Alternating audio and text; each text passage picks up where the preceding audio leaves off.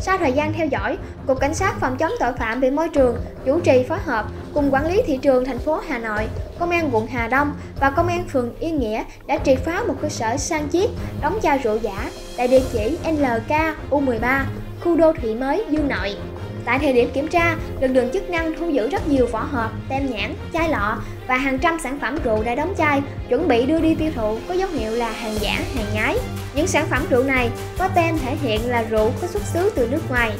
Tuy nhiên, cơ quan chức năng đã làm rõ đây là rượu giả được sang chiết, đóng hộp từ rượu thủ công và rượu nhãn hiệu Black của Lào. Các đối tượng khai nhận từ việc thị trường nổi lên mặt hàng rượu đóng chai hình con trâu tượng trưng cho con giáp năm 2021 nên đã tìm mua số lượng lớn chai thủy tinh, chai sứ hình con giáp, tem nhãn, sau đó sử dụng các loại rượu không rõ nguồn gốc xuất xứ để sang chiết và đóng chai cho giống với sản phẩm thật vốn có nguồn gốc từ Armenia và Bosco để bán cho người tiêu dùng. Tại thời điểm kiểm tra, chúng tôi phát hiện được các đối tượng đã sản chiết sản xuất rượu không có giấy phép và sử dụng nguyên liệu không rõ nguồn gốc. Qua cái ờ, vụ việc trên thì ờ, cơ quan ờ, chức năng sẽ tiến hành đấu tranh làm rõ các hành vi vi phạm để xử lý theo đúng quy định của pháp luật. Thời gian vừa qua thì một số những vụ ngộ độc rượu